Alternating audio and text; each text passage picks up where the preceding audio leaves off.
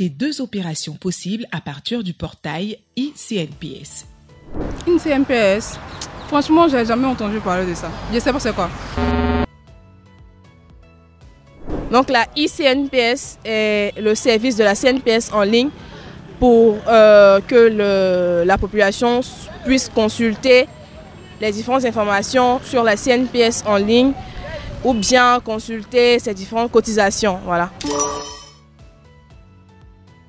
Euh, selon moi, les différents services possibles, je dirais d'abord déclarer un employé. Pour, pour un employeur, ce service-là lui permettra de déclarer ses employés. Ça permettra aussi de suivre l'état d'avancement des différentes cotisations, voir si on est à jour, voir si, étant employé, est-ce qu'on a été déclaré par notre employeur aussi. ICNPS est la plateforme digitale officielle de la Caisse nationale de prévoyance sociale en Côte d'Ivoire. Elle a été mise en place dans le but de faciliter l'accès aux services de la CNPS pour les travailleurs, les employeurs et les partenaires sociaux.